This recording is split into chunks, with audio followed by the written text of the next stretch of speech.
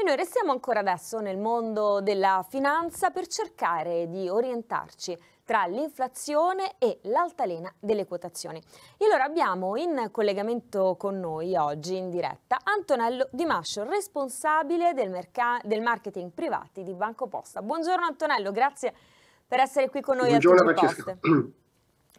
Allora, le tensioni dei mercati, lo abbiamo appena visto, sembrano attenuarsi dopo i salvataggi bancari di queste settimane. Ci spieghi che cosa sta succedendo nel settore? Ma allora, il, abbiamo visto nelle ultime settimane alcune crisi sporadiche eh, in America e poi abbiamo visto la grande crisi in Europa, quindi in Svizzera del Credit Suisse. Sono due eh, problematiche completamente diverse. La prima per un disallineamento tra la liquidità e i titoli sui quali la banca aveva investito, mentre parte, il, il, fenomeno del Credit Suisse è più un fenomeno di cattiva gestione che ormai erano anni che si, si, si protraeva. E quindi sono due casi completamente diversi, anche se c'è da dire c'è un tratto comune in tutto il settore bancario, ma direi in generale sul mondo finanziario, che è il ribasso dei titoli obbligazionari conseguente al rialzo dei tassi di interesse. E quindi in questo momento stiamo affrontando una, una sorta di ricerca di equilibrio tra la politica, le politiche restrittive delle banche centrali per domare l'inflazione che dopo il Covid è esplosa e dall'altra parte trovare un equilibrio per non impattare ulteriormente sul prezzo dei titoli obbligazionari. Quindi è una ricerca molto difficile perché sono due spinte che vanno in direzione completamente opposta.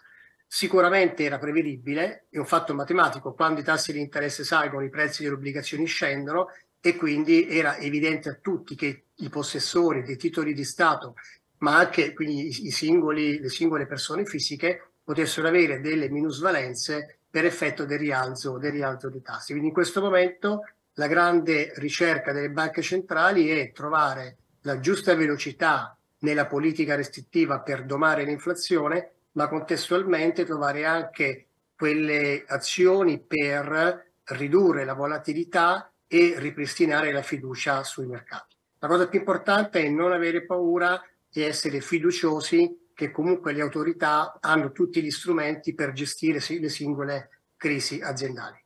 Ecco, allora Antonello ti chiedo subito, bisogna essere fiduciosi. Che consiglio possiamo dare ai risparmiatori? Anche perché diciamo che in questi momenti di alta volatilità è facile farsi prendere dal panico.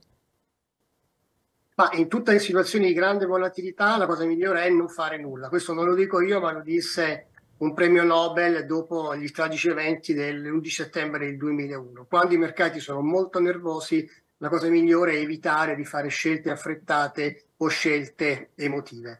La cosa più importante è affidarsi a dei consulenti e quindi analizzare in dettaglio il proprio portafoglio e vedere quali possono essere effettivamente i rischi impliciti nel portafoglio. La cosa, la cosa veramente rilevante è ragionare sul livello di rischio che si può gestire e sull'orizzonte temporale entro il quale si è investito. E quindi tenendo in mente rischio gestibile da un punto di vista finanziario, ma anche da un punto di vista di emotività e dall'altra parte l'orizzonte temporale, io credo che la cosa migliore sia aspettare e non fare nulla. La storia ci insegna che tutte le grandi crisi poi vengono superate eh, per motivazioni interne, ma anche per l'intervento delle banche, delle banche centrali o perché l'economia si riprende e quindi poi dopo i grandi ribassi ci sono sempre i grandi rialzi. La cosa importante è evitare scelte affrettate perché in questi contesti il mood, il mercato, il sentiment può cambiare molto molto velocemente, quindi si può ritornare ad un livello di tranquillità. Oggi comunque, è bene dirlo, non siamo a livelli di volatilità estremamente elevati, è leggermente risalita, ma siamo ancora in una fase del tutto fisiologica, con i mercati che salgono, scendono e quindi sono anche in una fase di riflessione, di valutazione sia dei livelli del, degli indici, sia anche delle prospettive economiche. Quindi non farsi prendere dal panico, stare fermi e soprattutto affidarsi alla consulenza anche in questo caso. Ecco, ma più in generale, a prescindere dal periodo storico, ci dai qualche consiglio per costruire un portafoglio equilibrato e diversificato? Allora, noi eh, ti faccio l'esempio nostro, del nostro modello di consulenza. Eh, noi di fatto abbiamo una parte rilevante del patrimonio dei nostri clienti che è allocato sui buoni fruttiferi, quindi garantiti, e su una componente di ramo primo che rappresentano un po' la parte core del portafoglio. Poi abbiamo delle multiramo e abbiamo uh, dei fondi per cogliere le opportunità di mercato. L'approccio che noi abbiamo, abbiamo, adottato e che suggeriamo costantemente ai nostri clienti è quello dell'ingresso graduale verso un'esposizione all'andamento del mercato, sia all'interno della multiramo, sia attraverso i piani di accumulo dei fondi comuni.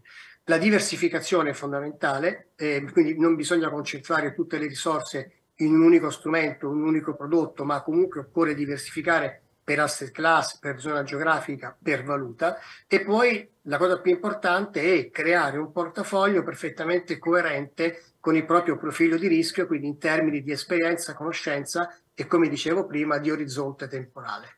Eh, se noi mettiamo in atto un orizzonte temporale corretto, una diversificazione del portafoglio, l'aderenza del portafoglio, del portafoglio reale al portafoglio modello, noi possiamo navigare all'interno dei mercati con una relativa tranquillità in un'ottica di lungo termine.